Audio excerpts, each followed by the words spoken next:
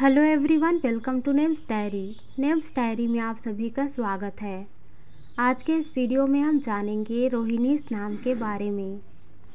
रोहिणीस नाम का अर्थ चाँद होता है। इनका राशिफल तुला अंक एक तथा इनकी औसत लंबाई पाँच फुट होती है। ये साहसी, अकलमंद, प्रतिभाशाली, मेहनती एवं महत्वाकांक्षी प्रवृत्ति के होते हैं। ये अपनी मेहनत से हर काम को आसान बना लेते हैं।